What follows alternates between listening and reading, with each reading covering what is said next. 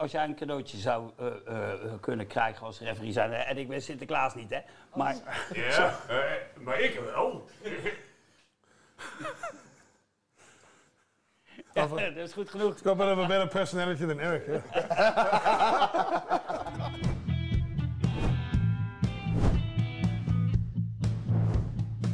Welcome back, ladies and gentlemen, to the next episode of Het is weer Ruk. Uh, tonight we're in for a great episode. I've said it every single week. I had to get it out in the beginning of the episode, so I'm going to stop you there. Not saying it again, but uh, we're going to have a good one tonight. Uh, guys, uh, uh, I want to start with the question. Kun, uh, you're, with us tonight. Um, we spoke a little bit about the referees last week. Um, do you think it's time that we have a citing committee here in the Netherlands? uh, to side players if they've done something a little bit maybe mischievous uh, on the game? Uh, er is nu een, een, natuurlijk een citingcommissie, die is er. maar dat is op basis van wat wij zien, waar we op beoordelen en waar de kaarten voor zijn. Dus als we rode kaarten geven, dan, dan komt daar een schorsing achteraan. En wat jij bedoelt is echt eentje op basis van video, denk ik. Yeah. So if, uh, if someone does uh, something in the game and might, might have been missed, or, or if a yellow card in the beginning, maybe it could be upgraded to a red card, uh, something that we can fall back onto. And, uh, and maybe also for you guys uh, uh, as a committee of refs, if there's something that's gone a little bit wrong in the game, you guys can give yourselves feedback and maybe if it's bad enough to have a, have a consequence, that, that, that option is also available. Ja, dat laatste doen we al natuurlijk. We kijken zelf onze wedstrijden terug, analyseren al. Uh, uh, en als we clipjes hebben, dan sturen we onderling ook naar elkaar toe en die overleggen we.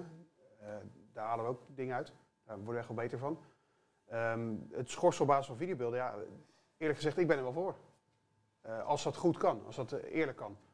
Dat is natuurlijk wel een voorwaarde die eraan vast zit, maar uh, het zou ons allemaal kunnen helpen als we weten dat spelers ook bestraft worden als ze er op de wedstrijd zelf mee wegkomen. Ja. Dus als je iemand onthoogt op het veld en ik heb het gemist als scheidsrechter, ja, daar baal ik ervan dat ik het gewist heb. Dat doe ik niet expres, maar die jongen komt er weg. En dat maakt misschien het spel wat schoner. Uh, omdat er waarschuwing achter zit. Omdat je ja. weet, ik kan alsnog gepakt worden. Ja. Ik kom er niet meer weg als de scheids het, niet, uh, het, het, mist. Ja. ja of, of Koen, misschien uh, dat je dan zegt, hè, omdat het moeilijk is om toch nog te straffen, omdat het soms een beetje lastig te zien is op die beelden. Hè. Dan zien we grote mensen, rugby, de Six Nations, heb je 23 cameraposities. 22 is het geen trein, de 23 denk ik, ah, het is toch een trein.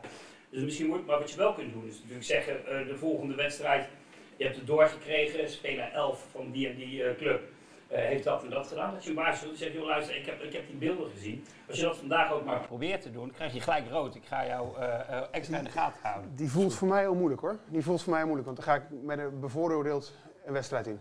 En zo'n jongen kan het ook niet met opzet gedaan hebben, of dat weet je niet. Je kan niet, niet in iemands hoofd kijken. Dat wordt ook duidelijk uitgelegd. Mindreading doen we niet. Nee. We kijken naar wat we, zien, wat we zien op het veld. En wat iemand in zijn hoofd heeft, in gedachten heeft om te gaan doen, dat kunnen we niet lezen. Dus we, zien alleen maar, we kunnen alleen maar handelen naar acties. Uh, en om naar bevooroordeeld een wedstrijd in te gaan met uh, ik ga die speler extra in de gaten houden, voelt voor mij heel, heel raar. Because I was going to say about uh, about some teams, you, you guys don't uh, have a look at, uh, at any teams and say this team is prone to doing this action, or in like that. You try and stay away from it as much as you can. Um, ja, we analyseren onze wedstrijden. Als er dingen zijn die we, waar we vragen over hebben, gaan we natuurlijk de, de, de appgroep in of in de, in de Coach Logic groep en daar, daar proberen elkaar te helpen. Ja. dingen van elkaar te leren. En als ze iets zien wat teams doen waarvan we denken, wat gek. En dan overleggen dat. Dus de anderen zien het ook. Ja. Like illegal line-out.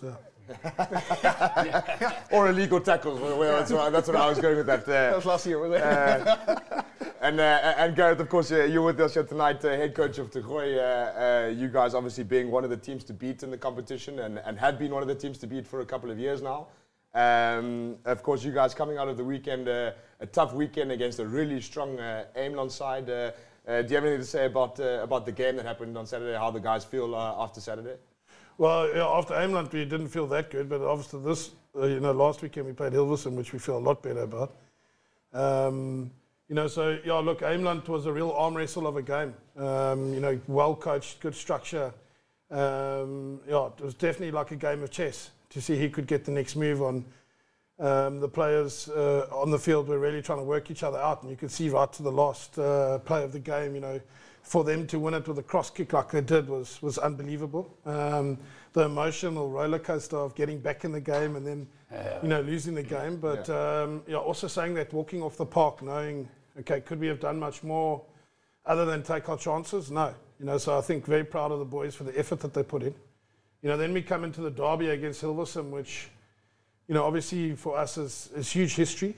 Um, uh, and, you know, yeah, Hilversum have always been a team that fights. You know, it's always been a team that really um, comes at you hard and, uh, you know, well coached as well by Marshall and Yorp. So, you know, I expected something a little bit different than what came on Saturday. Uh, uh, you know, and, and, look, I think we, we finally played a few, uh, a little bit of rugby that Hoy's known to play. Um, so yeah, very happy with that. Must say, to get away with 43 points against Silverstone, I think yeah, I'd be, I'd be stupid not to stand here and say they'd be very happy. Yeah.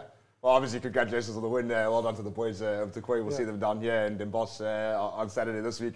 But we'll come into that later, guys. Uh, I've got some rugby clips for you guys. Uh, we've got some highlights of last weekend's game. Uh, this is the first week that I'm in control of the videos, guys. So I hope it's going to go uh, uh, seamlessly uh, with, with no faults. Front, but front row in charge. yeah, f- yeah, there we go. I've, uh, I've already messed it up because that one's uh, Yeah. not, not good. Het is weer. Yeah, het is weer. Uh, it's the name for, for nothing. Uh, and there we go. We've got uh, Hookers versus uh, uh, Den Haag. Obviously, uh, Den Haag coming away with the win. Uh, if you guys want to feel free and jump in here and stop me at any time, any moment, I'm more than happy to if you guys see something interesting. Uh, uh, the Hookers, obviously, a strong team. Uh, Den Haag, obviously, uh, also one of the uh, teams looking at uh, coming out of the top six.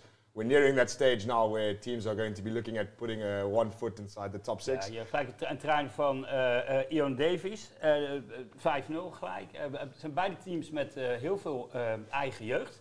Dat is leuk om te zien. Ook bij Hoekers heel veel eigen kweek erin. Ehm, toch heeft Den Haag de eerste helft wel heel duidelijk het overwicht hoor. Dat is echt. eh, Yeah. Yeah, eh, look, I, I'd have to say the Hague is definitely an outstanding team. I think they're definitely, uh, you know, with Hadley coming in as as as DO or as head coach of, he's brought a lot of structure to them and given them zeker. a lot of purpose and direction. I Yeah. think. I mean, yeah, they're, they're, the way they're playing is they're definitely the dark horses. I think uh, for me, definitely a team uh, that's well led by David Viesma. But I mean, that whole backline is just yeah, it's the Heel national team backline. goed. It's, uh, it's, it's scary what they can do if you give them too much space and time. So Ja, ja. yeah. Yep, bal naar Jordi. Gaat hij. Kom, scoort. Mooi hè? Nou, die conversie wordt eh, eh, eh, eh, door David op de paal geschoten. Eh, volgens mij komt er hierna een hele korte clip. En die wil ik er toch even in. Dat is Jordi Hop, let op. Eh, eh, die geeft eigenlijk een paas. En ik vraag me af, dan moeten jullie maar zeggen of die expres zo was of dat hij per ongeluk... Daar komt hij, let op. Ja, op de- Oh, that's classic Jordi, hè? ja, dat is echt briljant. Gewoon briljant. Hij gooit hem sowieso al. Echt geweldig om te zien. Look, he's got the nickname in the national team. Well, from Zayn, uh, you got the nickname as the White Fijian, and exactly for that, you know, he's uh, he's definitely a player that can make something out of nothing. Really, really good player. Always valuable to have that in your backline. Uh, something you can you can create something when there's nothing there. I think this is the biggest thing about the Hague. though. They've sorted out their set piece. You know, their, their set piece has really come forward in, in, in, the season. I think they've always had a team that can run from everywhere and play open, expansive rugby, but their set piece play has improved hugely. And I think that's, uh, Zeer. Maar hij geeft that's, that's going to be a big thing. Ze duwen hem gewoon eroverheen. Mooi hoor. Victor Huurman is dat. Is ook een klein beetje verwarrend, een klein beetje verwarrend, want ik heb met de teammanager overlegd over de naam. Want eh, eh, Den Haag maakt er een eh, eh, show van om, eh, met, daar staat bijvoorbeeld David op nummer 10 met shirt nummer 12. Ah, I, said- I think I said it last week. The, the era class haven't quite got it down yet how to get 1 to 15 on the field Yeah, in the starting lineup uh, positions. It's, quite, it's still quite difficult. Uh, Koen, do you guys ever have any uh, any difficulties with uh, putting numbers to names? Uh, no, not really. For me, no. Ja. Nee, ik zie eh, niet echt... eh, meestal eh, weet, weet ik wel intussen wie op welke positie spelen. De meeste namen ken ik ook wel een beetje. Al zijn het wel de rugnummers en dat maakt het wel zo onhandig als je ziet dat iemand eh eh flyhalf staat. Dat was Bjorn Dorm- Dolman die scoorde Die, daar, eh, die Garrett. staat met 12 op zijn rug. Ja. En dan roep je 10 rol weg. Het blijft, die, Ja. blijft mooi liggen. Ja. Ja. Yeah, I mean, the quality these guys have in the back. I mean, if you just saw Bjorn, who's also one of the national under 20s play, uh, 20 players, is also outstanding talent. But then you've also got like a guy like Sim Norman, who's just yeah, an absolute tank uh, as- as a Absolutely. winger. Um, you know, then JC, um, you know, there Van Kampen as well. Um, there's so much talent in this team, um, and I think yeah, they've got they've got huge chances uh, to really post uh, to to put a, a lot of pressure on teams to to go go all the way. Maar dit is de tweede helft. En ehm, ja, ik zal het vast verklappen. De tweede helft wordt eigenlijk wel gewonnen door de hoekers. Eh, ehm, die scoren drie keer. Ehm, en Den Haag eh, scoort één keer. Dus eh 3-1. Dat is niet verkeerd hoor. Dit is de eerste. Dat is Bo Donkersloot, nummer 7 van de hoekers. Eigen kweek. Staat En meestal daar tweede druk je rij. hem. Jij? Staat meestal tweede rij volgens mij. Ja, maar ik, bedoel, het kan zijn dat, zij, dat ze dachten, we gaan naar Den Haag, wij doen ook alle verkeerde shirtjes aan. Hè? Yeah, you can play in both. Eh? Bo can play in the third row and the second row. Also a very strong, tough player. Hard worker.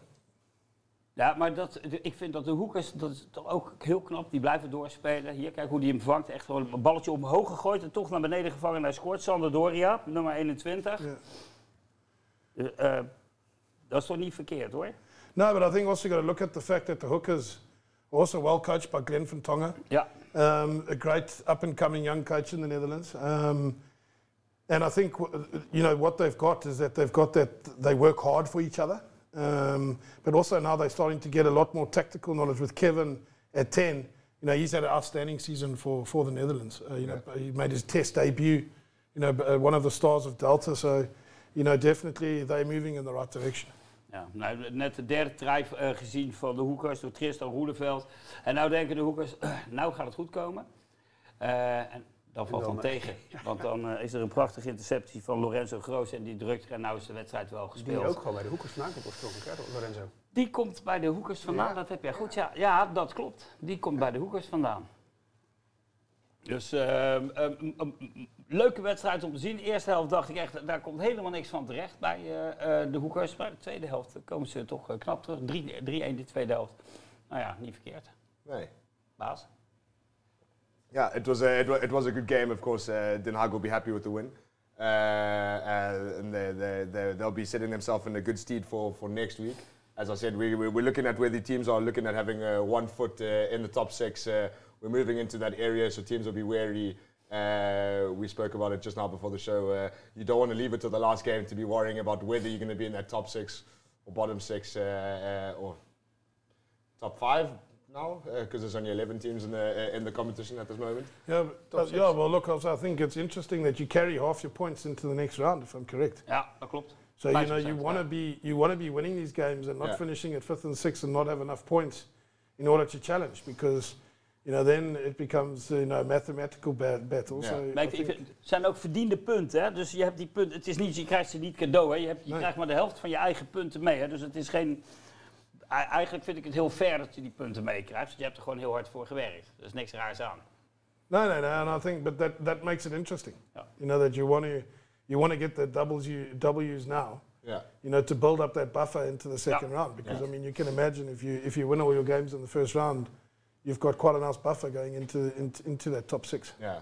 Uh, like, yeah, then it's a, then it's a mathematical thing uh, uh, and the back end of the season to see Well, I mean, where yeah, you're if, if you come in sixth and you've got to catch up 15 points, you know, you, you've got to hope that they lose three and that you win all your games in order just to get up there. So, Yeah. you know, it is, it's, it's quite interesting.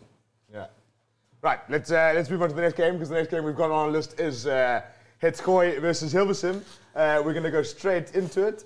Um, if I'm correct, it's going to start playing now. Yes, it is.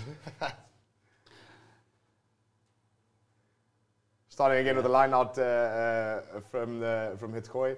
Uh, you guys have got a lot of uh, strong ball carriers in the forwards. Uh, a lot of go forward momentum. A great little forward switch there from your number nine. Uh, uh, and uh, awesome to see your forwards moving the ball like backline players. Uh, is that something that you guys uh, work on a lot? Of course, of yeah. course. Yeah, no, of course. You know, we, we swap coaches, forwards and backs coaches. We take the backs scrumming and the forwards. and- No, no, no. Look, I think, look, it's definitely a style that we, we, we, we try and, you know, we try and move the ball around. We try to keep it alive. We try to play that open, expansive game. And so, yeah, luckily a few times it, it really paid off for us, yeah. Unfortunately, that uh, that try was held up uh, by your new hooker. Uh, we spoke uh, before the episode about you, you, you losing a hooker, but uh, uh, managing to bring in someone who's, who can also uh, keep up the quality in the front row. Yeah. It's always nice to have. Uh, uh, and uh, um, my question uh, is to you: how, how do you actually find these players uh, to get them in at your club? Well, look, we, we rely a lot on um, obviously uh, coaches' networks. So our you know friends of Goy, you know people that have been at Goy, players that have played at Goy. Um, you know, obviously players that come over have a good experience. They would then say to you, "Listen, I've got a player who wants to come over." So it's a lot of, um, you know, Een feed netwerk, forward. een netwerk. Een Yeah, groot using the network.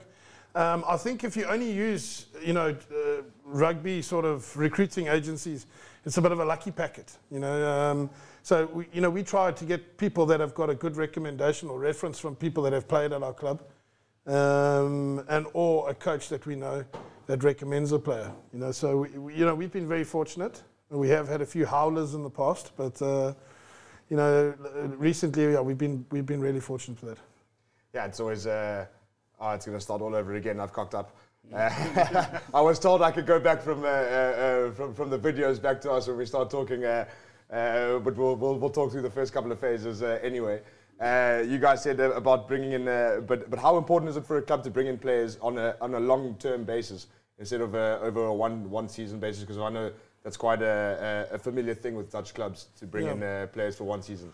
Well, look, I think from, from our perspective, or especially you know, from the club perspective, Goy's perspective, is that you know we, we want players that want to come over and start a career and really invest their time in the club and community. And I think uh, if you look at a player that is going to contribute to the club, but also the community by starting his own company in the area, employing people, just himself, but also looking after people from the club, but then to playing an active role in the club, being a, a youth coach, refereeing, um, either part of the volunteers or being part of the board, I think it's something for us is that you want to look at long term. It's great to have a player for one or two seasons, but you know, ideally you want those players that are staying with you for that 10 year period because that's, that's like a purple patch of, you know, having that knowledge and experience, but also people that are actively involved in the club rather than bringing a person over for 12 or 10 months and then saying goodbye and bringing another person. I think, you know, for us, we're really trying to look at help people get careers and, and become part of the community. Ja. Ja. dus, dus ik, ik zie daar ook, een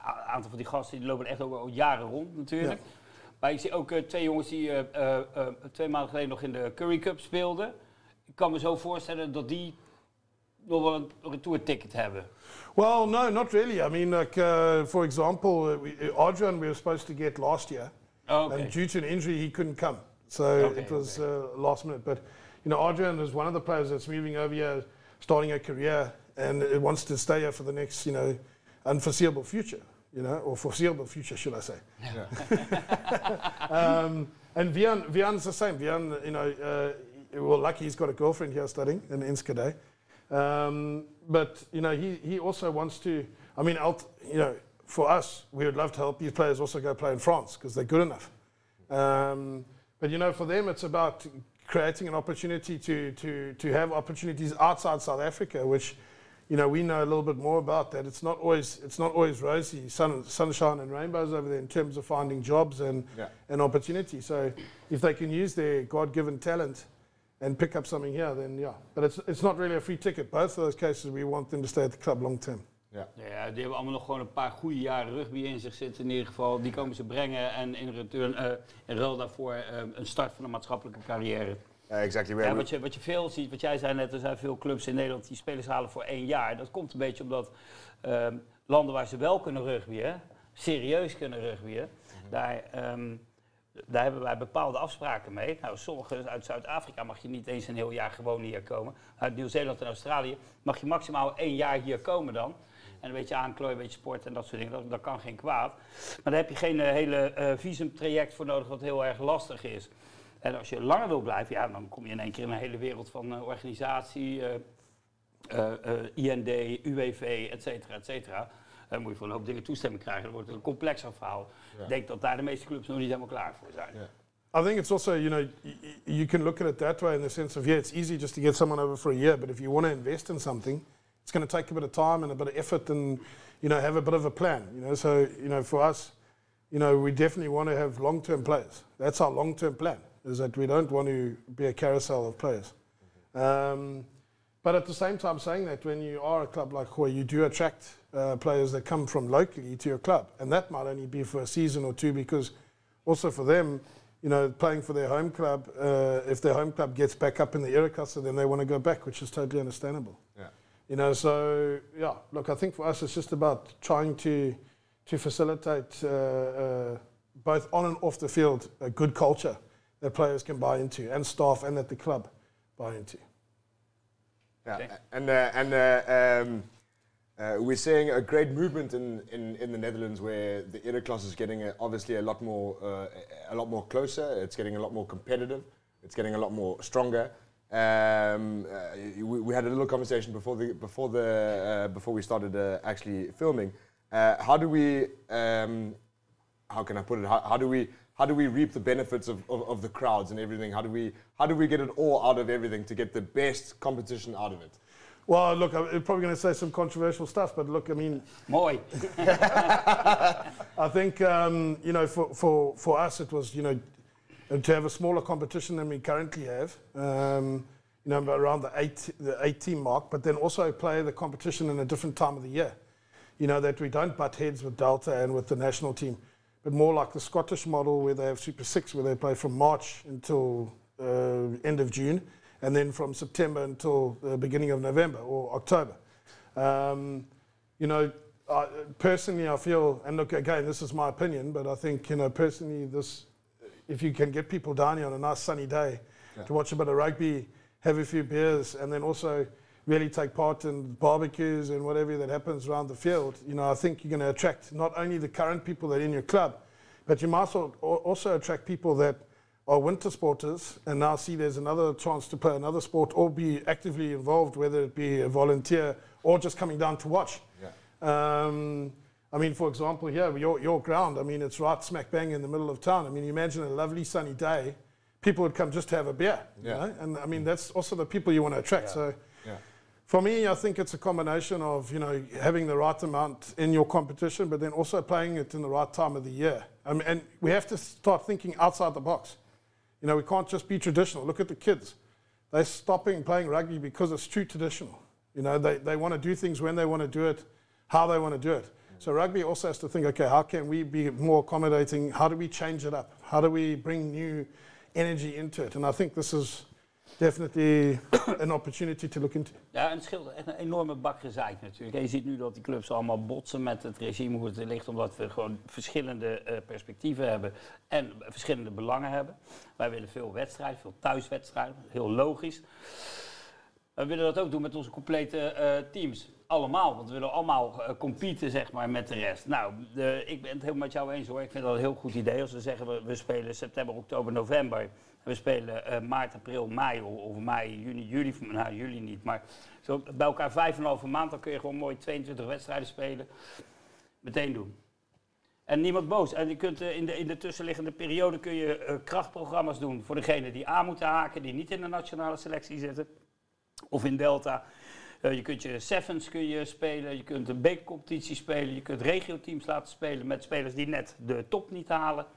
Is zoveel te doen. Eh, een beetje Ja. werk, maar ik ben voor. Meteen I think. I think the rest of your competitions from your tweede class or eerste class beneath you, they continue to play in the normal sort of months. But you're talking about the product of the era class. Yeah. You know how, uh, if we look at where we currently are in the world, you know, we we now in the championship. We now beat Portugal for the first time under 20 level. We played in Euro, a Euro Championship final against Spain, which we lost by six points. Um, you know, how are we going to take the next step? And it's, it's not a case of dropping the amateur side of the game or putting more pressure on the clubs. It's just looking at it, how do we have an alternative? How does the puzzle come together? You know, and I think um, by, by playing your top competition at a different time of the year, it takes a lot of pressure off all the sort of other avenues. And, Ja, je, schaadt, je schaadt de ereklasse. Kijk, ik vind de ereklasse het allerbelangrijkste product dat we hebben. Eh, belangrijker dan nationale teams als. Daar is niet iedereen het mee eens. Eh, dat vind ik ook niet erg. Maar als je ehm, eh, het op die manier doet zoals jij het net schetst, dan botst het niet. Dan kan het en-en. Waarom zou je het laten? Yeah. No, but like you say, you want to put the era class on a pedestal. You know, you want to put it on the pedestal, but Yep. you also, most of your players want to play for the national team. You know, Of course, that, that, that's, that's the end goal. I mean, you, you look at Yeah, these players. You, you look at you look at these players that are playing now championship rugby against Canada, Georgia. You know, you're going to play Romania. These are all World Cup teams. Je weet Ja. wat wij hier vroeger hadden hangen, hè? Een bo- Een bordje, hè? dat heb ik je wel eens verteld. Hè? Dus hij zegt net het belangrijkste. We hadden eerst al, eh, eh, wat is de ambitie voor een Duke? Dat is de Dukes, één. En dan oranje. En dan voor een fooi naar het gooien. Dus, Okay, ours is a little bit different. You know, for, for us, it's about trying to make as many orange players as possible. I, I, I think I, I can agree with that. Uh, might uh, I might also get in trouble with, with someone uh, next to me. But uh, I think I think the, the reason why the era class needs to get the attention is because that's where you get your product from. And at the end of the day, you get more people. If your era class comes up uh, uh, all the waves, your national team will, will follow. Yeah, But, but also- I'm going to come back to my question quickly. I want to, I couldn't, I want to bring you in here, and obviously you, guys, as, as a head coach, you guys have a lot more understanding. Of, is, is there maybe some way that we could uh, think outside of the box for Dutch rugby? Is there some way where we could maybe change a rule somewhere? Law, maybe, sorry. Uh, is, is there something where we could maybe change like that? I saw World Rugby uh, in uh, uh, this week or last week. They want to have a look at bringing in uh, uh, a yellow card where the captain is allowed to give one person in the other team a yellow card so they can be off for 10 minutes. They want to trial that somewhere. I- Is there something that Dutch rugby could think outside of the box to try and change something like that? Ik weet niet of we dat eh, bij eh, Rugby Nederland neer moeten leggen. Ik denk dat, dat doet Wild Rugby al genoeg. En, eh, Ja. ja, en er zijn op dit moment genoeg gele kaarten om dat eh, niet te hoeven te doen. No, well, look, I, I know that the home nations are trying a lot of different things to try and get more people into the game because, as we know, with team sports, there's a lot of people stopping playing rugby. Yeah. Um, and it's, it's down to the fact that, you know, traditional competitions, you know, you know, the same thing, Tuesday, Thursday, Saturday. You know, we also need to start coming, it's not per se the laws of the game. I think you stop messing with the laws of the Yeah. game. What I would like to see is be more creative off the field. You know, so like a Friday night lights sort of competition, a Monday night lights, you know, for other teams in the country. You know, it can't all happen on Saturday. I mean, we can't all be in one spot on Saturday. You know, we or in the uh, you know, it's it, it would be nice to to see a little bit more creativity off the field. I think, you know, sort of the veterans sort of festivals and stuff like that is really Yeah. that's the sort of stuff that we need to see more of. I think, um, you know, Wales started just a simple thing with uh, trying to get more girls to play rugby. And what they did is started putting up sort of, you could join a, a, a rugby session in parks around Cardiff, I think it was, if I'm correct. And what they did was that every 15 minutes you had a selfie moment. You know, so all these teenage girls could then stop and have a selfie moment and, you know, uh, say where they were and what they were doing and whatever and do something. And what you had is that all of a sudden everything was, you know, rugby related. They were tagging people in it and in it. And it's like a snowball effect. It just started getting bigger and bigger. I mean, I think they doubled their numbers in, in, in that season in terms of girls wanting to be part of, not taking uh, active role in full rugby players, but interest in the sport. So I think off the field is where we need to be a little bit more creative. En eh, bijvoorbeeld, want eh, daar op in. Eh, er is sprake geweest van bijvoorbeeld een vrijdagavondcompetitie. Misschien onder 24 competitie op vrijdagavond. Met een verplichting voor alle clubs. En een penalty voor je eerste team als je het niet doet. Want dat anders komt het nooit goed. Hè? Dat weten we allemaal. Eh gemiddelde eerste team in Nederland een soort gehaktmolen. Aan de bovenkant gaan de jongetjes in. Aan de onderkant komt er aan de ene kant een team uit. En aan de andere kant jongetjessap. Want daar is gewoon, die worden vermalen. Er blijft niks van over. Dus als je nou zegt, we beginnen onder 23 of onder 24 competitie op vrijdag, eh, met de licht aan, hartstikke gaaf. Eh, kunnen zaterdag op stap, ik ook belangrijk, hè, dat ze niet op zondag hoeven te spelen. Daar creëer je iets nieuws mee, daar voeg je, waarde, daar voeg je waarde mee toe. But I think, you know, the problem is it's not the union. It's us as clubs, because those, are in the- those are in the rules. Yeah. We can, as clubs, say, let's play Friday night. We don't have to ask the union. We have to tell the union we're playing on Friday night. So, you know, we shouldn't wait for the union to tell us, okay, this is what you should be doing. I think there's clubs here with big enough history, big enough knowledge of, you know, trying to inject energy into community. And I think that's what we need to do as clubs is we need to stand up and, and take the bull by the horns and, you know, try to grow the game or get more people at your club or create more of a festival Yeah. atmosphere. I mean, it's always difficult coming to the Dukes because, you know, you've got a hostile crowd of over 500 people here standing. dat would be us. yeah, but that, that- that's one of. Uh, I've been here for a couple of years now, and I think that was the biggest thing I saw. Is, um, uh, I mean, there is quite. Uh, if if I compare it to my club in South Africa, uh, you, there's actually more crowd here than there was there, but we did a lot more to get people there. So uh, I think if, if uh, I was speaking to our, I was speaking to our coach on uh, last week Thursday. We had an off weekend. Let's go. Is there a hockey game? Can we go support the hockey girls or the hockey guys? Then we're supporting at their club. Maybe they'll return the favor. Uh, I think back to last season, our second our, our second team was in the finals. naar hockeymeisjes gaan kijken. I'm gonna, I'm gonna talk about the I'm gonna talk about the hockey girls again once more. took one message on Instagram, hey, we're in the finals, are you gonna come watch? And they all came and watched. The whole team were here to watch our second team in the third class to come and uh, uh, uh, it was against uh, in, uh, on the in the second class actually. The, yeah, second class. They were in the finals, and it took one message for them to get their whole team down here and watch. But, I, but It's I as think, simple as that. But I think this is the problem of traditional competition with traditional rules. Is we, we also need to, as clubs, you know, um, we need to start opening. We have to have a little bit more of an open mindset in the sense of trying to change rugby and being part of the change. Yeah. Not expecting someone to tell us how to change. Um, and I think you know, youth rugby, women's rugby, men's rugby. There's so much. There's so much positive stuff happening around the world. We need to go look at what's happening, what will work here, and we need to then start bringing it in and trying to, um, you know, create a bit more energy around the sport. You know, I think uh, we definitely need it because you, you can see we, we can go places. Both the women's game has been at the top level, the men's game is currently there. There's huge potential here, and it's a, it's a question of us having maybe a little bit more of an open mindset and trying to take the bull by the horns rather than waiting for someone to tell us how to do it. Yeah, I think uh, I think that's my time to, tell- to, to tell of you tell, tell you at home who's watching now to get into the comments, guys. Let us know what you think. If there's ways that you guys have, uh, if you guys have any ideas, any plans, uh, get us in. We'll we'll have a chat about it next week. But uh, guys, please let's get active in the comments and uh, and let us know what you think. Uh, some wise words spoken here at the table. I think a lot to hold on to. Let's move on to the next game. Uh, Dioc versus the Oysters. If I've got it right, that's gonna come onto our screens now. Uh, Dioc, uh, I think uh, one of Dioc's first wins this season. They, uh, first? uh, their first win, I think, this season against Oysters. Uh, of course, Oysters will not be too happy. Die ken ik.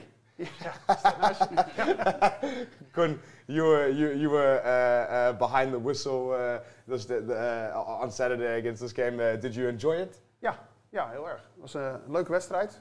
Meerdere momentum switches. Het ging echt van de ene kant naar de andere kant. Eh Dio kwam voor, Oysters kwam weer terug. Uiteindelijk heeft Dio hem gewonnen. Ja. Het, de hele wedstrijd spannend. Eh, Spirit was volgens mij best goed. En lekker tempo gewoon. Ja. Eh, ja, leuke, voor mij een heerlijke zaterdag. eh. Ja. en altijd gezellig bij Oysters daarna nog. eh, eh, Ja, weet je, een heel jong team, hè, die ook. In ieder geval, dat lijkt een heel jong team. Je ziet, Pierre Monod is een van de oud-gedienden, lijkt wel. Die maakt, die maakt ook eh, de eerste score.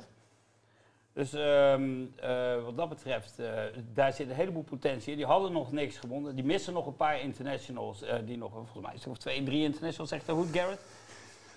Yeah, look, I think I think you've got some. You've got three really talented players in Dioc. Um, well, there's, I'm sure there's a lot more, but I mean the ones that I know. are, I think Mace van Oort, Meest van Oort zeker, Sam Ja. van Planken. Sam van Planker's Speelde outstanding, and then Sam van Barkel for ja. me. Ja. You know, three outstanding players for, for Dutch rugby. I mean, Sam is now busy converting to, to hooker in under 23 in the under 20, 20 euros. He did an outstanding job for us. I mean, his stats were through the roof. The amount of work this young man does.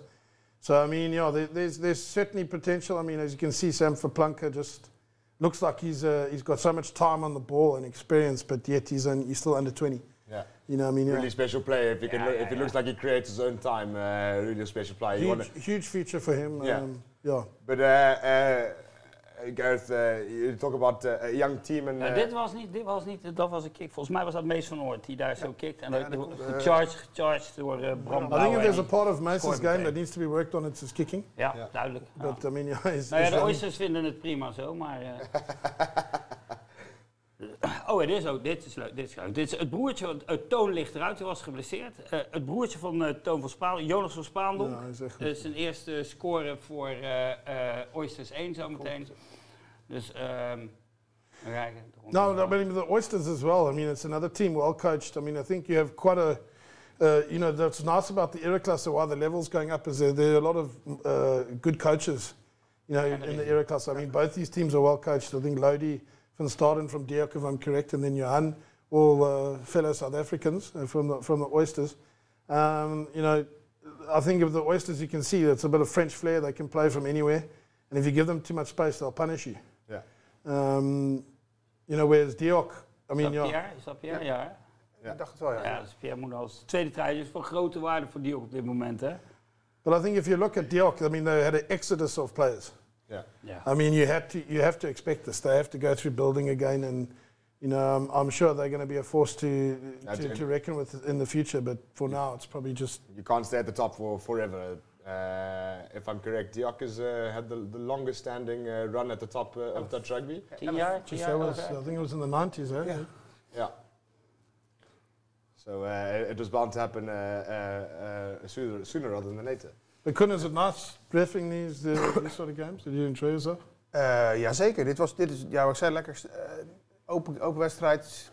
Eh spirit was echt wel, wel goed. Was, eh, dit was ook meer, eh, ja, als, eh, als, je, je bent- je bent als scheidsrechter of 1, 1 of 31. Het liefst ben ik 31. De laatste, eh, degene die rondloopt om een beetje de boel, eh, de float eh, te laten gaan. En, eh, So when are you number one? eh, als je die rode kaart geeft, ja, als je even... Ja, ja, jullie, eh, geeft hier een, hij geeft hier een penalty Ja, hier, geeft hier was ik heel even nummer 1. Ja, was, eh, hier- Ja? ja, dat was een, eh, een hoge I tackle mean, op de uh, but, op de but for refs, do you also play shirts? I mean, do you, uh, in terms of the level of the game, how does that affect your preparation, or do you have the same process? Eh, in voorbereiding bedoel? Ja, ja, eigenlijk wel. Ja, wat ik doe is, ik, dat is ideaal nu. Hè. Ik kijk elke, el- elke week voor ik wedstrijd fluit, kijk, ik probeer te kijken wat van andere teams wat ze spelen. Gewoon om even te weten waar kan ik lopen, waar loop ik niet in de weg. Eh, dat is meer voor mezelf. Ehm, en daarnaast doe ik mijn eigen analyse van mijn wedstrijd. Dus Oysters, heb ik, Oysters Diok heb ik eh, van de week al een keer nagekeken. Eh, doorgelopen, wat deed ik goed, wat deed ik fout, eh, wat moet ik volgende week opletten.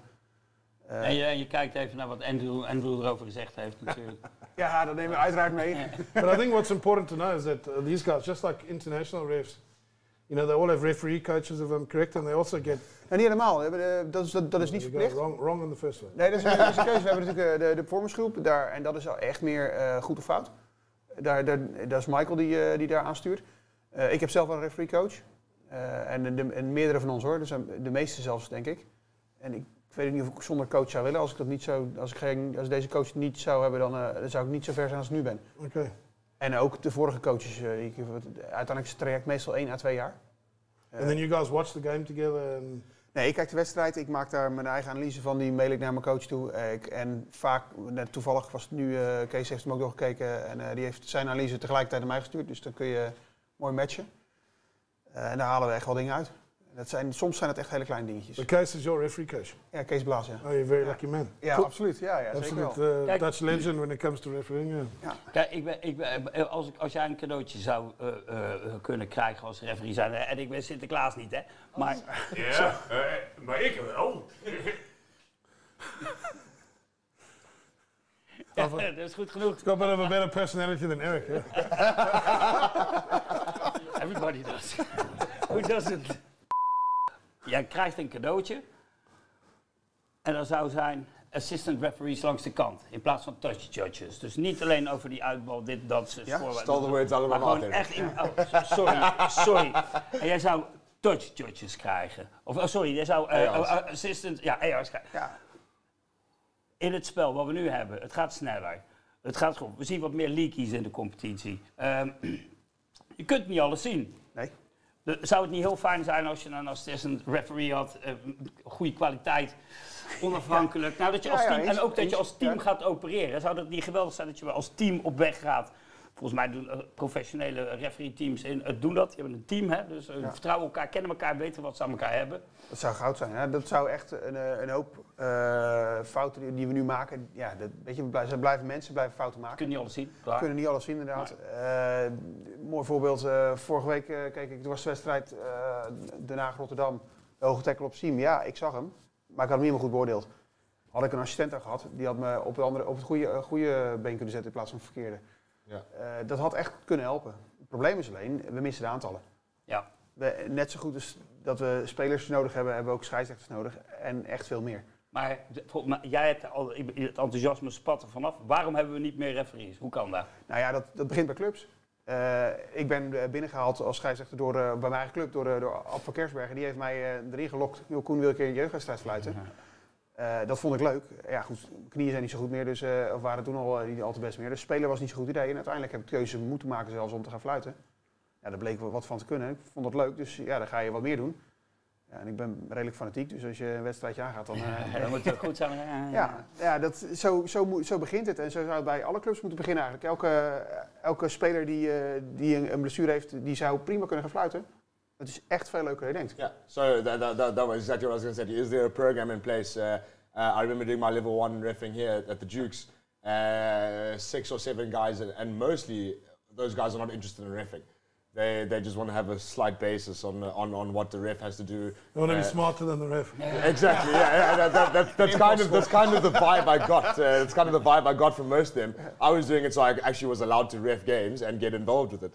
But uh, uh, most of them were saying, no, I want to be able to, to, to have an understanding of where I can do it, and also for the kids, so I can coach them a little bit more on the rules. Um, but yeah, is there a program where we can? Fi- uh, you've got a shoulder injury, mate. Can you pick up a whistle for the rest of your life? Ja, dat, is, dat, dat zou moeten komen vanuit de club zelf. Eh, er is niet iemand die hier rondloopt, hey, die is kapot, die eh, kunnen we mooi inzetten. Ja. Eh, ik doe het zelf wel als ik dan iemand denk, nou die zou wel eens kunnen gaan fluiten. Dan, dan doe ik het natuurlijk, zeg ik het. Wat we bij Gouda doen, eh, mijn eigen club, eh, daar beginnen we al veel eerder. Daar hebben we, bij de Cups hebben we een soort eh, eigen cursusje opgezet. Eh, dat doen Appo en ik dan, ehm, onder andere. En de andere scheidsrechters werken er net zo hard aan mee. Eh, dan gaan we een, eh, op een cupstraining. eh een aantal jongens die dat willen, hè, want het, er is niemand die gedwongen wordt. Het is, wordt gevraagd in, in, eh, in de groep. Ja. Wie wil er, eh, wil er eh, volgende week eh, jeugdfluiten? En dan hebben we het over TBM. En dan steken er een paar de vinger op. Nou, kom maar. Dan gaan we daar de week ervoor op een eh, dinsdag of, of een eh, maandagavond de jongens een traintje geven. Dan lopen we erachteraan op het veld als ze een, eh, tijdens die training bij de, bij de Benjamins een potje rugby fluiten. Dat doen we een paar weken achter elkaar, zodat ze een beetje gevoel hebben erbij. Dan zetten ze in op, op de turven. Ja. Met iemand, een volwassen of een ervaren scheidsrechter erbij, die ze een beetje kan helpen. Ze een beetje feedback kan geven, zodat ze niet gewoon plop op het veld gegooid worden en nee, succes, dat werkt niet. Dan ben je ze kwijt, dan stoppen ze, want dan vinden ze er niks aan. Dus je moet ze begeleiden. Ja. En blijven, ja, blijven nursen, je moet ze blij- blijven helpen en verder te komen. Yeah, of course. Ja. I think there's a program in Rugby Netherlands. Eh? Keep your boots on, I think, or. Or was that Ja, the dat RFU? is- Dat is RFU. Ja. RFU, yeah.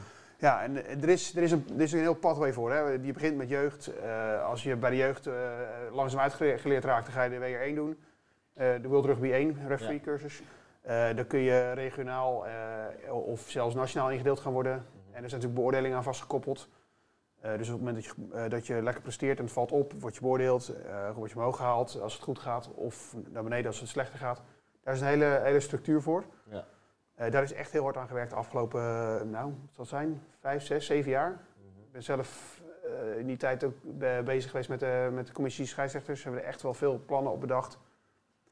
Ja, goed, ik ben met, de- met mijn neus in de boter gevallen toen ik begon, want er was niks, maar heel snel kwam het wel. Dus ik, Ja. ja. And and how how close do you think we are uh, to being able to have uh, uh, uh, ARs next to the field? How close is the competition?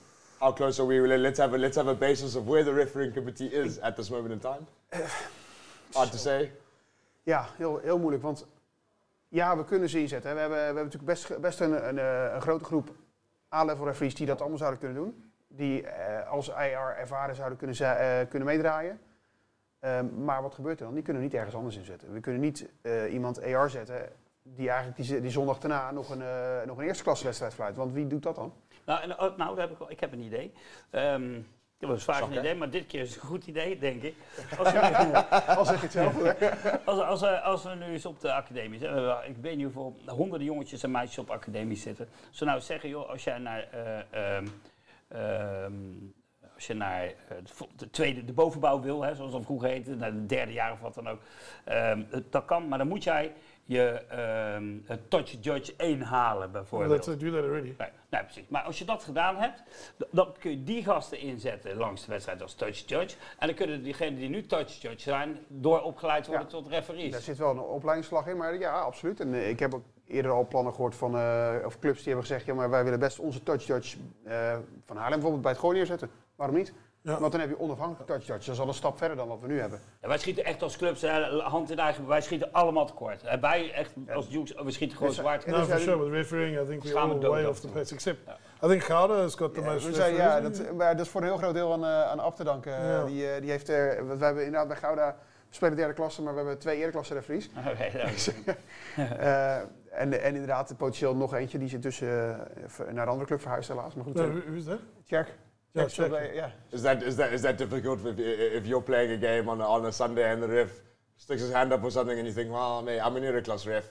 you haven't quite got that right. Ik, eh, ja, Jens die maakt zo af en toe wel eens gebruik van zijn, eh, van zijn kennis. Ja, laat het zo zeggen.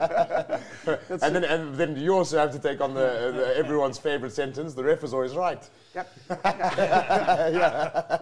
Uh, but uh, uh, yeah, of course, uh, I think it's it's it's it's an area where where the especially the era class. I mean, the guys obviously with the whistle in hand, they're obviously doing their best. But I think if they can get that support outside of the of the field, it'll it'll it'll it'll it'll, it'll speed it'll speed up our game.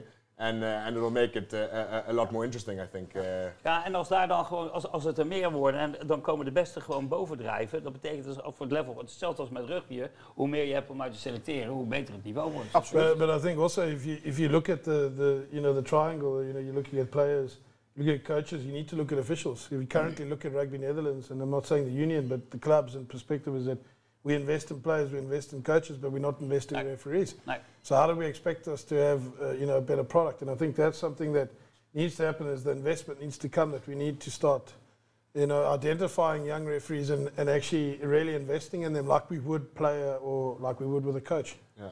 So Er wordt, er wordt wel, wel wat gedaan. Wordt natuurlijk nu eh, in, in het uh, rood No, what I'm Fonds talking about, it betrokken, might be done, but what I'm talking about is the numbers.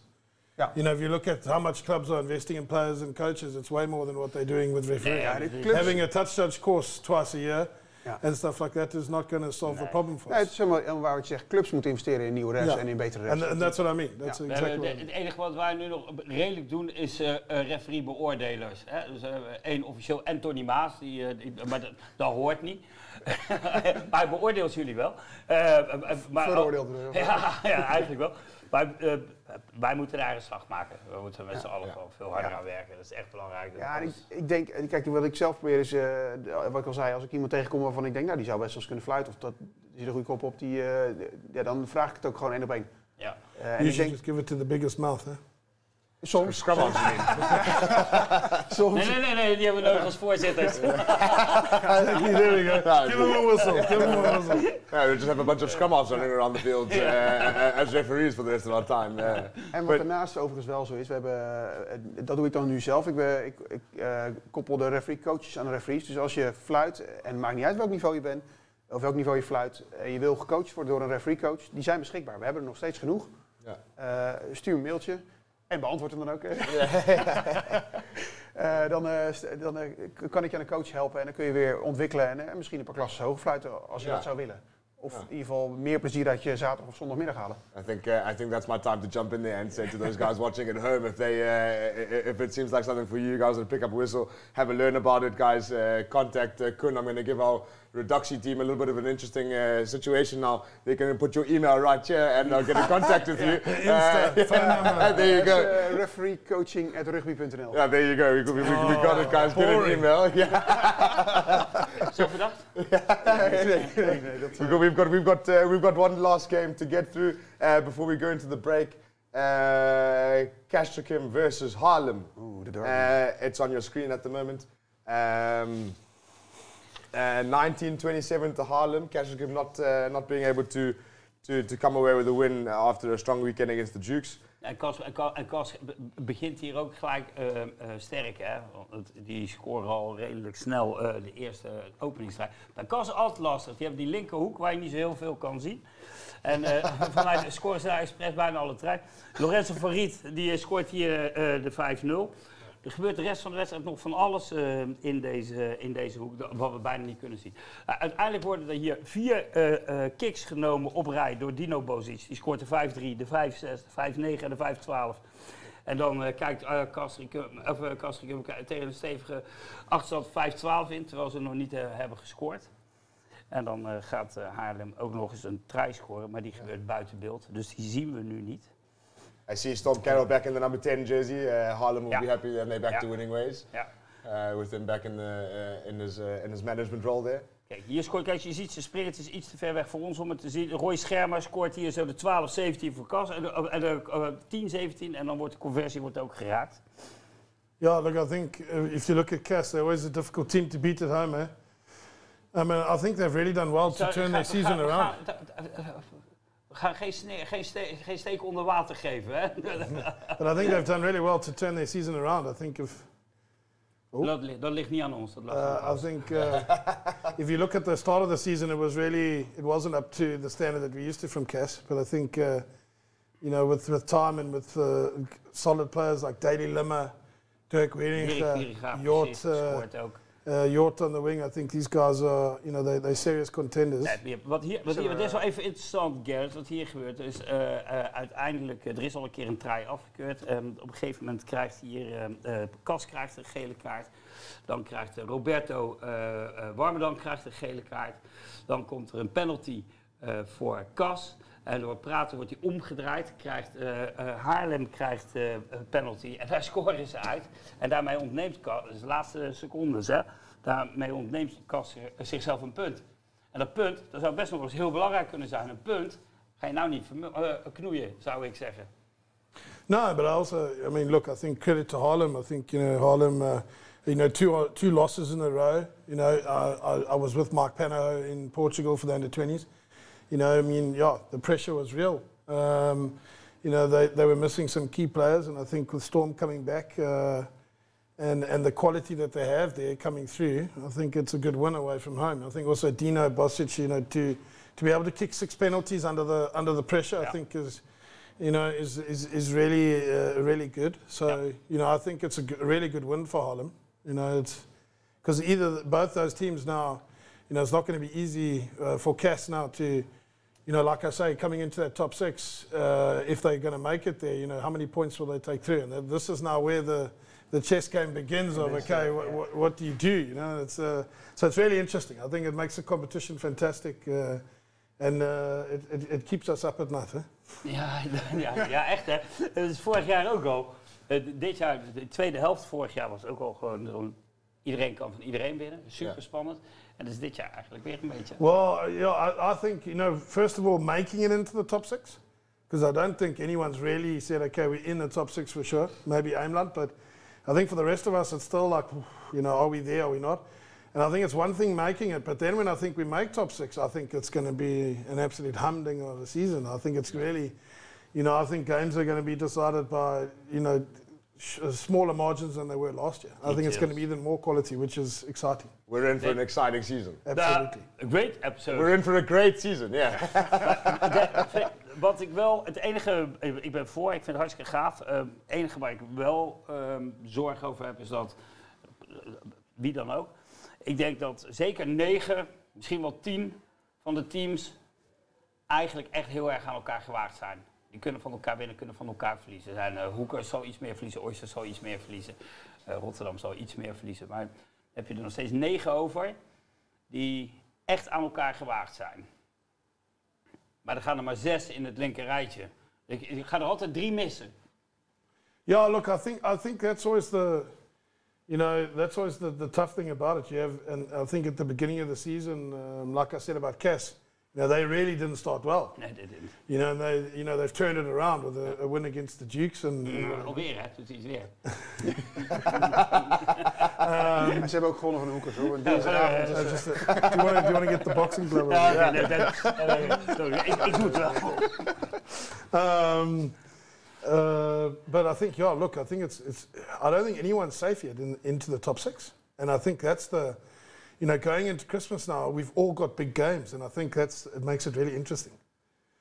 You know, so yeah, it's, I, I think the only team that can probably say that they're there is probably, is probably Aimland. I'll be aiming on six for six. Ja. Uh, Although you've got to drop one for our you know. Yeah. Oh, yeah. And so does the Hague, so do we. I don't think you have to. Nee.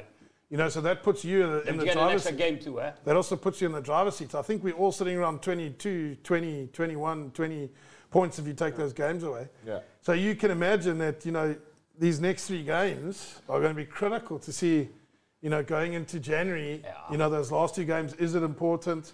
Am I already in the top six? How do I approach that? So, yeah, it's going to be, re- it's going to be an interesting month. December is going to be, it's either going to be a good Christmas or, or uh, going to Caribbean island, island Christmas and not coming back. Of we eten de kalkoen of je bent de kalkoen, hè? We eten de kalkoen of je bent de kalkoen.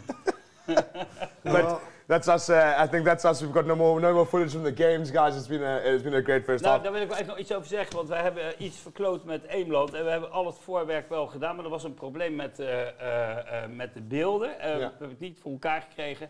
Heel jammer. Eh, dat hadden we graag erbij gehad. Eh, ik kan de momenten eh, even vertellen, maar dat heeft niet zoveel zin. Volgende keer maken we het goed. Yeah. And uh, yeah, next, uh, uh, it was it was it was good. Most of the quality of all the of all the uh, films we did get were pretty good this week. Yeah, jammer over the one game. vijf wedstrijden, eh, eh, vijf keer eh, goed opgenomen, goed duidelijk beeld. Eh. Hartstikke blij mee. Fantastisch echt. For us, that's uh, that's perfect, guys. Uh, all the clubs keep it keep it up. Uh, that's the way we want it, uh, so we can bring uh, to you guys uh, the best content we can. But uh, just quickly before we uh, have a little bit of a break for us, we'll see you just now, guys. Uh, sitting at top uh, six from six, obviously with the game in hand uh, uh, against Askrim, sitting on 27. Rugby Club Tegoy uh, after six, 26 points. Den Haag six games and 25 points. Rugby Club the Dukes on position four with 22. Haarlem sitting at number five, 20, and Cass and Rotterdam, uh, respectively, sitting on 14 points. Guys, that is us for the first half of the show. We'll see you just now. Hey. Welcome back, ladies and gentlemen, to the second half of the show. I've forgotten what number episode we're on because we're so far into our season. Couldn't believe where we've got there. Uh, guys, welcome back. Uh, I know you've just been around all over the clubhouse. Um, we're going to have a quick look at the games for next week. Uh, first half of the show, we had some great rugby to watch uh, and some really interesting ideas over how we can uh, make the competition a little bit more. Uh, uh, I've Safe. lost. I'm safe. Safe is the word I was going to look at. Exactly. Uh, but the first game on our list is Harlem versus the Oysters. Um, Harlem, obviously, one of the stronger teams in our competition. Oysters uh, at the bottom of the, not at the bottom of the log, but uh, nearing the bottom of the log. They'll be looking at uh, uh, uh, coming back uh, against the Harlem. Uh, what do we have to say about that game? You coming to me first or the Ja, jij mag beginnen. Oh, look, I think interesting game. Um, I think Oysters without Rick is a different team. And I don't know if Rick, I think Rick is out. He's out. Rick's is yeah. uit voor zes weken. Yeah, so They've also lost one of their and also seven at in Jordan. Harlem, you know, Harlem. Uh, I think after beating Cass this last weekend, will will come out strong. Uh, I think Harlem also, you know, well coached, looking good. So I, I would think Harlem's going to take this one. That's mine. Yeah. And obviously, uh, Oysters also losing one of their front rows that's been brought in through the season with a 16 game ban. Wow, was it 16 games? Nee, for mij 12. 12. Somewhere in that area, but uh, he's out uh, for the foreseeable future. Dus, uh, Koen, welke fluit jij? Eh, ik fluit eh, Rotterdam tegen Kas. Oké. Dus daar Oh. zeg ik helemaal niks Oh. over. Ja, Nee, nee, de- nee. Oh, the, uh, game, Yeah, game, well, game, I've, heard, I've heard some. I think uh, he's also going to give away some secret information. Yeah, he picks to win. no pressure. next, next game on the list is uh, Hilversum Oh, uh, HRC. You're not saying who's Ja, ja, maar ik woon hier vlakbij, hè. Nee, nee eh, eh, fan van Oysters, eh, maar Haarlem, eh, eh, eh, eh, de- prop ligt eruit, Rick ligt eruit, het- nog steeds blijft een goed team over. Ik- Ze gaan niet weggespeeld worden. Maar Haarlem gaat dat winnen, denk ik. Ja. En dan hoop ik dat, eh, dat ik eh, ongelijk krijg. Niet dat ik het Haarlem niet gun, maar ik hoop echt dat de Oysters zich kunnen... eh, eh, I'm swallowing my words from last week saying that Oysters were going to take home five points last weekend. So I'm going to stay out of this one uh, uh, Cool. this week. Oké. uh, Hilversum, uh, Hilversum versus Den Haag. Uh, I think that could that could be turning out to an interesting game.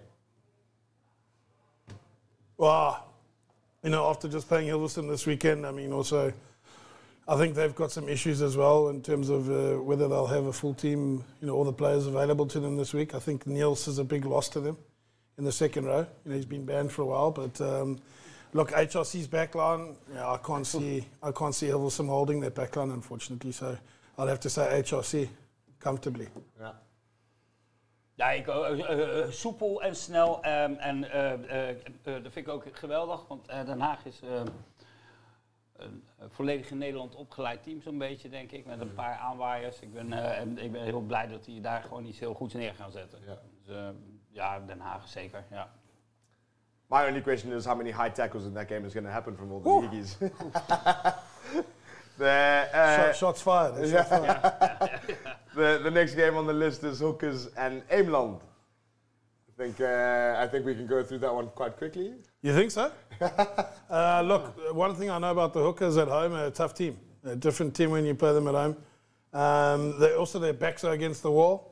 Um, you know, Aimland, look, to be honest, on paper, yes, Aimland should walk this. But I mean, also knowing Zane so well and working with him, you know, I know that he's, you know, about this game, he's not going there thinking this is easy four or five points. Dat doet niemand daar. No, and I think uh, you know he, he'll want Aimland to come off that bus firing because if you don't, if you give hookers a sniff, they're going to be in. Yeah. And the more motivation they get, the, the, the, the more difficult. I mean, we almost lost that last season.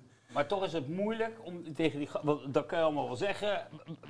Het is niet makkelijk. Het is geen eh, walkover, geen walk in the park. Dus je moet fired up, fired up, fired up. Ja, ja, ja, coach. Ja. Yeah, yeah, yeah. But that's that's always the that's always the interesting thing about these sort of fixtures is that the Hookers are a team that's trying to break into that sort of top top eight, top six sort of thing. Aimland comfortable at the top. You know, if they get off the bus with the wrong mentality, you know, you could find yourself having a long day. I think Aimland will win this one. Uh, personally, but I don't think it's what you said. You should get through it quite easily. I think it's it's going to be interesting. ja, zeker. Kijk maar naar Den Haag. Den Haag eh, eh, veegt ze echt van de mat af. De eerste helft en de tweede helft wint Hoekers gewoon. Hè? Ik vond Hoekers bij uh, Castricum uit ook echt wel heel goed. Ja. Zeker de eerste, eerste helft. Hij zegt Gaan ze gewoon een paar, die gaan een paar keer scoren tegen Eemland. Yeah, look, uh, I mean, Aimland might prove us wrong and just wipe them from the, from Yeah, the they- floor, but at the same time, my experience with the hookers, don't underestimate them. Yeah. Halen we deze aflevering gewoon offline, weet je wel. The, The twee the powers that be. eh, The powers the next game uh, on our list is uh, Rotterdam Castricum. Uh, quite a quite a tough one for you to, Yep. to, to put a put a bottom dollar on it. Um, Yeah, yeah, so we won't come to you for that one. ik ga er geen geld op inzetten. Uh, uh, Gareth, you said uh, you said earlier, I think before the episode, in the beginning of the episode, uh, could be the game of the week, uh, Rotterdam Castricum. Well, I think these last two games are definitely the ones that uh, we, we're involved in, but also, you know, Rotterdam, Castricum, I think Rotterdam, by taking a scalp against Haarlem, you know, also in Rotterdam, you know, so uh, interesting field. It's not the biggest field, if I'm correct. Nee, het is eh, een turfveldje. Het ligt wel een heel, gro- je kunt wel naar een heel groot veld kijken, want het ligt ernaast. Maar ik denk dat ze geoefend hebben op dat kleine veld. And I think it'll depend what Castricum team arrives. You know, if they arrive, if they arrive as the team that played the Dukes and uh, you know and, and stuff like that, I think it, it will be a long day for Rotterdam. But I definitely see this going down to being a seriously physical uh, battle and one that yeah, it's going to be a lot of pressure on the man in the middle.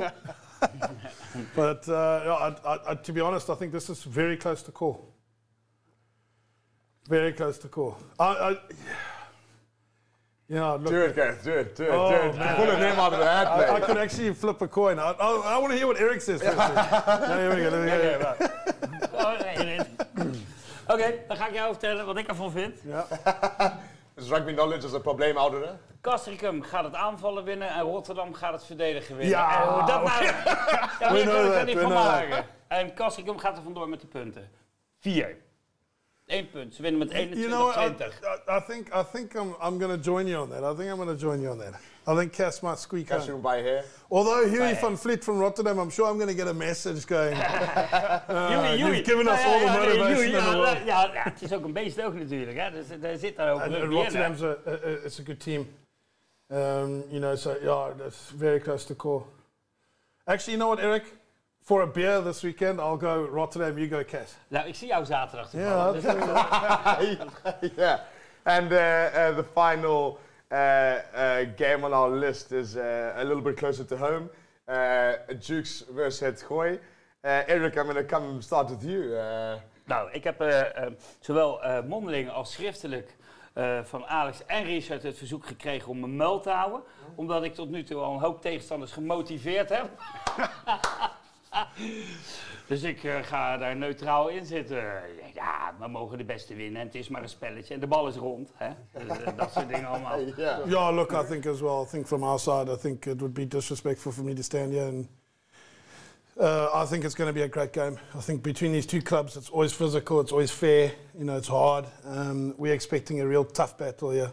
When you come to the House of the Dukes, it's it's uh, it's never a comfortable ride, and uh, it, to hear that song afterwards as well is it, it hurts my ears. So, but you know, look, I think we we all look we're all really looking forward to coming down here and being part of it. I think it's going to be a great day.